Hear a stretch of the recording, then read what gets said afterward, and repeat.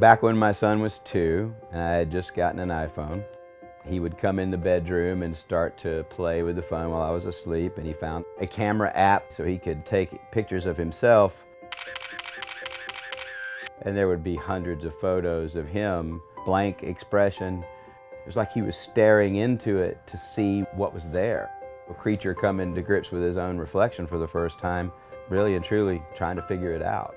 It could have easily just been about the clicking, but to your dad trying to figure out what the heck you're doing, it looks like it's staring into your own soul. If it wasn't like a, man, I look so cool, it was like, man, that's me. What am I?